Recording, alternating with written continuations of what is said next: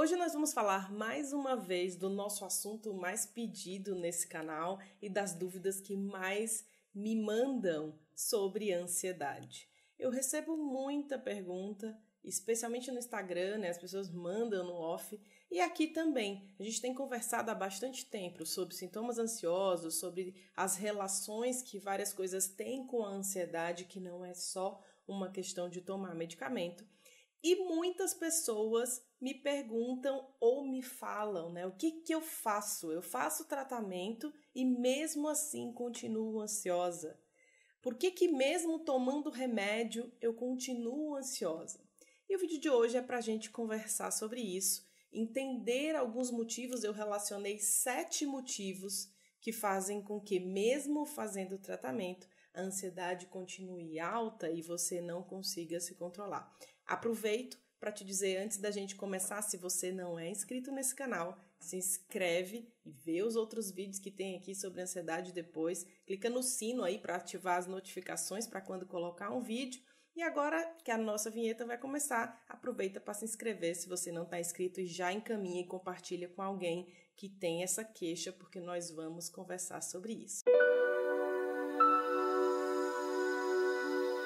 Bom, Muita gente me pergunta, ah, doutora Ana, já faço tratamento, por que, que eu continuo me sentindo ansiosa? Gente, quem está aqui há um tempo já sabe, e quem está lá no grupo Ansiedade Controlada também sabe, que existem vários motivos do estado ansioso que não necessariamente está diretamente ligado à necessidade do medicamento. Portanto, se você está aqui nesse vídeo e usa medicamento ou não usa, não tem problema. Esse vídeo é tanto para quem já faz tratamento medicamentoso com seu próprio psiquiatra, psiquiatra, quanto quem não faz, tá? Exatamente porque seis dos motivos que eu vou falar aqui não tem nenhuma relação com remédio. E o remédio, ele pode ser necessário para muitas pessoas, mas ele não vai reduzir em muita gente 100% dos sintomas. E por que ele não vai reduzir? Porque existem causas não relacionadas ao efeito que o remédio vai fazer, à proposta que o remédio tem. E por isso, muitas pessoas têm o que a gente chama de sintomas residuais. Sintomas residuais são aqueles sintomas relacionados ao seu quadro que você toma um medicamento, mas eles não passam. São sintomas que ainda permanecem mesmo depois você tendo começado o tratamento. Se isso acontece com você, comenta aqui embaixo para a gente compartilhar. Fala o que, que ocorre com você e se isso ocorre com você. O primeiro motivo que existe, que é importante a gente comentar, que faz com que você não fique 100% bem, ainda tenha sintomas físicos até e psíquicos, é o fato de você ter um problema de inflamação silenciosa. O principal foco de inflamação silenciosa é o intestino. Quem lê o livro Ansiedade Controlada que eu escrevi, né, muita gente já me mandou mensagem porque eu falo muito dessa relação cérebro-intestino nele. Quem lê o livro já tá craque lá, né? Já sabe que o intestino inflamado silenciosamente gera alteração na produção de neurotransmissor e, consequentemente, nos seus, no seu cérebro, no seu estado de humor. E esse intestino inflamado, né, toda essa alteração que acontece quando essas paredes intestinais se alteram, né, passando partícula que não deveria passar, pode gerar o que a gente chama de intestino permeável. E isso altera o seu cérebro, gera também neuroinflamação e alteração dessa produção. E aí você pode pensar, putz, então como que eu sei se eu tenho um intestino permeável? Como que eu sei se eu tenho um processo de inflamação intestinal? Isso, alguns sinais fazem com que a gente perceba isso, né? Um dos sinais, excesso de gases, por exemplo, alteração da sensação gástrica, né, intestinal quando você come alguma coisa ou pessoas que já têm um diagnóstico de uma sensibilidade alimentar ou de uma intolerância e mesmo assim se alimentam daquilo que sabem que não podem, né? dores abdominais frequentes, né? existem sinais que você percebe que a pessoa tem uma questão intestinal ali que precisa ser investigada. Então, isso também é um motivo que faz com que você não melhore completamente, tá? Se você quiser ver mais sobre isso, entender muito mais sobre isso, o livro Ansiedade Controlada está aqui abaixo desse vídeo, que você pode adquirir e depois ler com mais profundidade sobre esse assunto. O segundo motivo que faz com que ainda tenha sintomas ansiosos é são as questões psicológicas relacionadas ao seu quadro e os, os sintomas ansiosos que têm a ver com as suas vivências, com as suas relações. Por exemplo, você tem um problema, você tem muita ansiedade relacionada a um problema no seu casamento. Você tem muitas questões relacionadas ao seu trabalho, a relação com o chefe, a relação com seus pares, né, com seus colegas de trabalho. E aí, aquilo é o seu fator ansiogênico que gerou os seus sintomas, que fez com que você hoje fizesse tratamento, mas aquilo ali é a sua causa. E aí, nunca que o remédio vai fazer tudo o que ele precisa fazer, porque a gente tem que mexer naquela causa. E aí você está dizendo, ah, mas aí minha causa é muito radical, eu preciso sair do meu trabalho ou resolver é, com minha mulher, com meu marido, né, com a pessoa com quem eu tô. E isso sim, provavelmente você tem que resolver isso. E isso não significa, não estou falando de separação, eu estou falando de solução. Muitas vezes você precisa de ajuda de um psicólogo para isso, né, de um terapeuta para isso. E isso você vai, o, o seu psicólogo vai te ajudar a organizar isso na caixinha certa, mas muitas pessoas não querem fazer o enfrentamento da situação. Isso é uma das causas que eu mais vejo, sabe? As pessoas têm o problema ali que gera alteração física, porque o psicológico gera alteração física. Ela entende que aquilo é a causa principal do quadro dela, mas ela não quer mexer naquilo. Ela tem medo de mexer naquilo. Ela tem medo de se deparar, inclusive, com a clareza daquilo que ela já acha no fundo que é a resposta. Né? Esses são fatores extremamente importantes porque problemas nas relações de forma geral são extremamente ansiogênicos. E às vezes a pessoa tá bem, ela tá super estável, ela discutiu com aquela pessoa, aí ela fica com medo. Aí ela começa a ficar mais ansiosa e começa a não perceber que aquilo ali é a causa. Acha que está precisando de um comprimido calmante sublingual para melhorar. É preciso compreender direito essa essa dinâmica das suas emoções para você não achar que na hora que acontecer qualquer coisa dessa natureza tenha a ver com o seu remédio que está errado, com o seu tratamento que está errado. Porque nós somos assim, né, gente? É muito mais fácil a gente imaginar que precisa de algo externo para consertar as coisas. Então, esse é um segundo fator extremamente importante e que muitas vezes as pessoas não enfrentam ou não percebem que é o seu fator de piora e que o remédio não vai melhorar aquilo. Né? Porque é preciso resolver esse problema. E claro, você que está me assistindo sabe qual é a sua questão. Eu não vou saber, só você vai saber. E entende, provavelmente aí, se, esse, se essa for uma questão para você, você já está pensando que esse é o seu fator. Né? A terceira coisa que faz com que você permaneça ansiosa mesmo fazendo o tratamento é causa hormonal. E quando eu estou falando de causa hormonal, eu estou falando de cortisol aumentado. Tem pessoas, eu, recentemente, dosando uma pessoa que vem com queixas de ansiedade, estava com 38 de cortisol. Né? Isso é um dos hormônios, que é o chamado hormônio de estresse. Outra alteração hormonal que pode fazer com que você mantenha sintomas é, são hormônios é, da linha reprodutiva, né, os hormônios femininos e masculinos, essas alterações, especialmente mulheres no climatério e pós-menopausa, né, tem muitas essas alterações, porque os estrogênios, a alteração nos estrogênios alteram os receptores de neurotransmissores. Vocês devem, quem viu o vídeo sobre TPM, né, quem tem muita TPM, pode olhar o vídeo aqui no canal que eu falei sobre isso, porque aqui na TPM a pessoa fica muito ansiosa. Essa é uma das causas, é uma causa hormonal. E quando você tem a alteração hormonal, você tem alteração dos receptores e você tem aumento do estado de ansiedade. Tanto que na TPM, lá no vídeo eu falei, né? Algumas mulheres têm mais vontade de doce, outras ficam mais bravas, né? Por alteração no GABA, mais irritadas.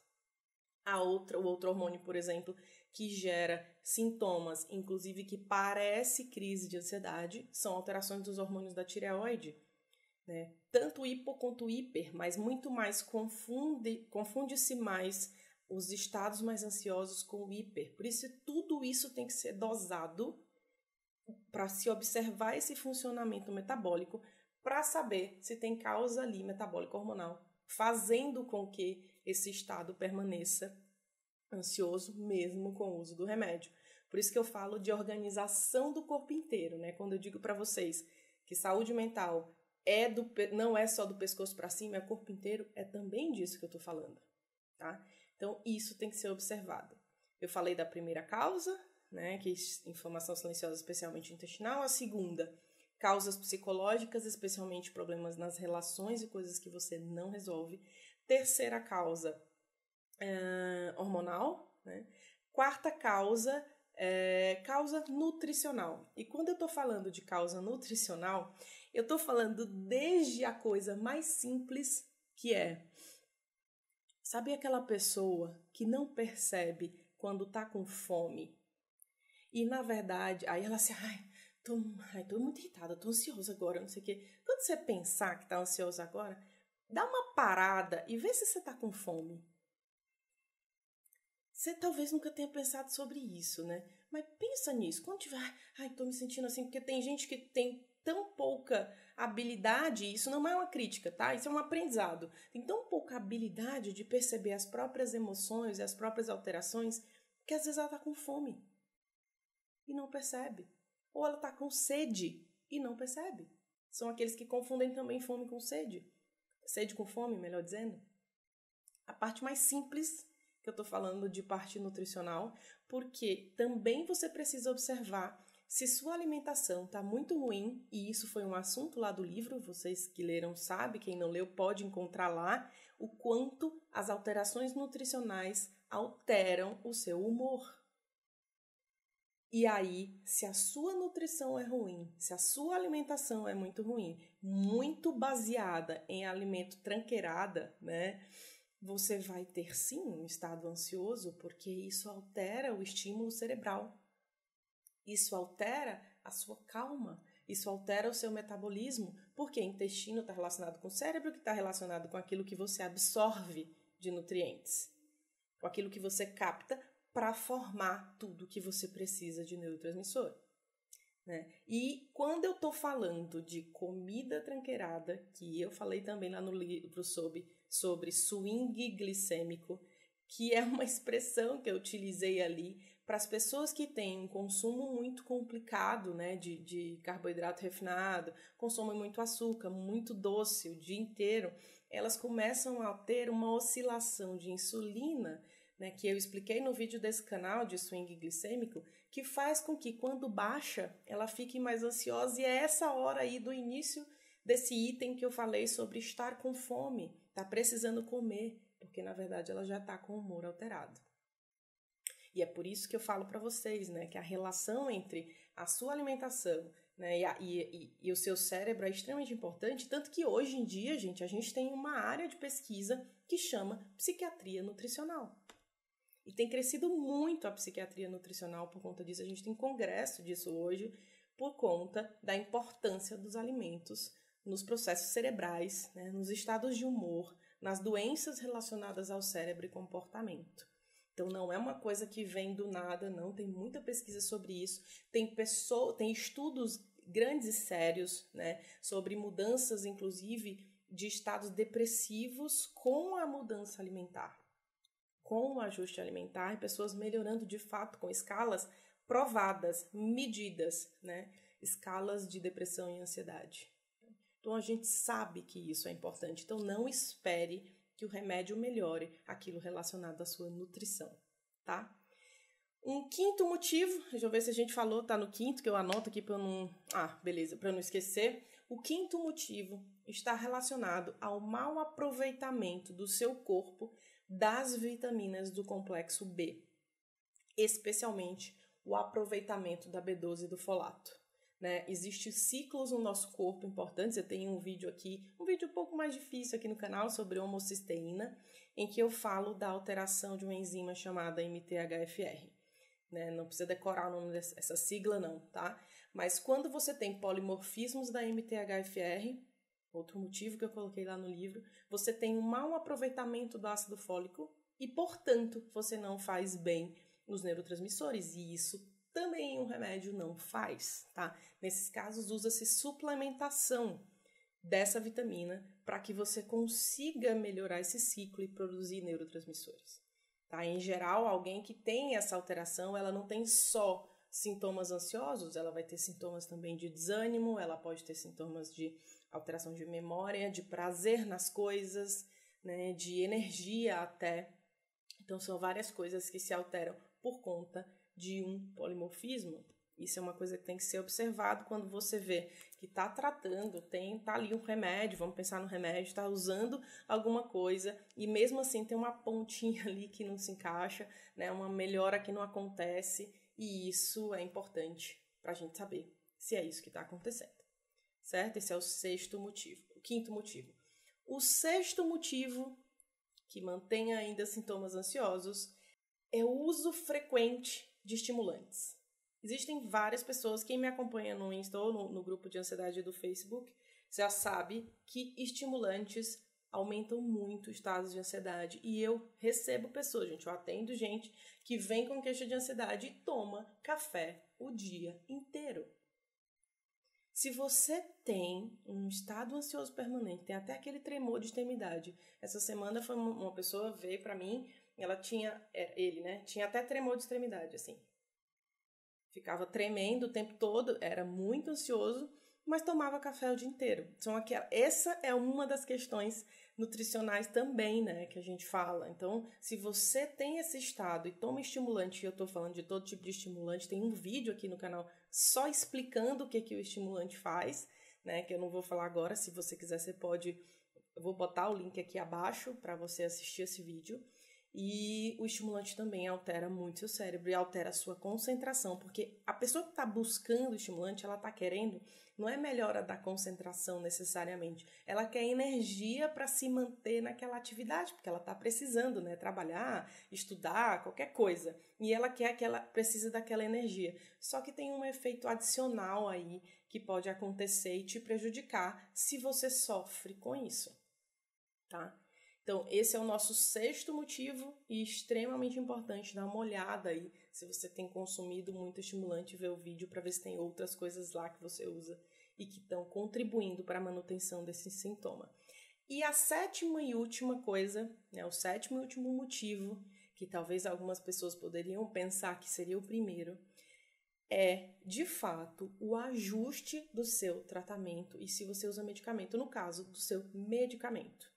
Algumas pessoas recebem um diagnóstico, recebem uma prescrição, deu certo para ela parar de ter crise e ela não volta né, para reavaliação. Ela não reajusta aquilo, porque depois de um tempo os receptores se ajustam e ela fica renovando só, só renovando a receita em outro lugar, inclusive, né? Nem é com o primeiro médico que ela passou aí. Eu não tô culpando você, porque às vezes o médico foi embora, ou se for no, se você está sendo atendido no plano, muitas vezes muda, né? Vocês, vários de vocês já me falaram isso. Isso realmente acontece. Então, tem que ser revisto aquele tratamento, porque eu entendo que a principal preocupação da pessoa é reduzir a crise, especialmente se ela tem pânico. E às vezes ela resolveu a crise. O remédio que ela usa faz ela não ter mais crise mas não significa que ela não está vivendo ainda com muita ansiedade. Então, quando a gente sai de uma coisa que é muito sofrida, né, a gente consegue nem perceber quando ainda não está muito bem, porque tirou da pior parte, que seria a crise. Então, isso tem que ser revisto, reobservado. E não necessariamente eu estou dizendo que tem que aumentar a dose do seu remédio. Vocês me conhecem aqui, né? Não é esse o meu discurso o tempo todo. Nem de forma alguma de dos vídeos. É revisão revisão de necessidade, revisão de ajuste daquele, daquele medicamento, né, da que muitos de vocês devem usar. porque a gente tem é, readaptação do cérebro quando você está tomando algo, reajuste de, de receptores cerebrais que, que atuam ali no mecanismo de ação daquilo que você está tomando, e isso precisa ser revisto, certo? Bom, foram sete motivos que eu trouxe para você de estar de manutenção de ansiedade mesmo com tratamento. Espero que você possa fazer uma revisitação aí do seu quadro para perceber se isso faz sentido para você. Se faz sentido para você, escreve aqui embaixo se tudo isso tem realmente você nunca tinha pensado sobre isso, se você percebeu isso em você porque isso é extremamente importante. E se você quer um pouco mais de detalhes sobre essa questão de intestino-cérebro, de alimentação e cérebro e outras coisas que você quer aprender, o acesso ao livro Ansiedade Controlada está aqui abaixo desse livro, você pode clicar no link e adquirir. E eu te aguardo no nosso próximo vídeo, mas você, antes disso, pode escrever suas dúvidas aqui embaixo, se inscrever nesse canal e aí a gente vai conversando e trazendo as suas dúvidas e aquilo que é importante para você, certo? Até mais!